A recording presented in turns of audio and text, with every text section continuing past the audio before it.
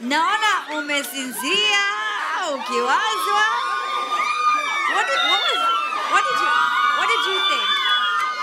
I have heard this song done many times, Yeah. and it has always been a disaster. So it, the rumor is true.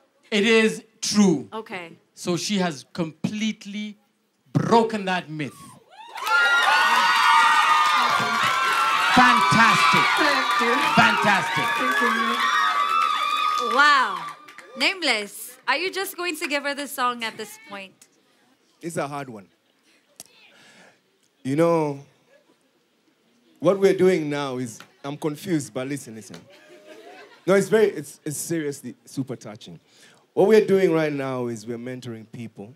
From what I've seen, what she's done with the song just makes us know and makes us reassure as mentors that the rookies who are going to take over from us are going to take this industry to the next level.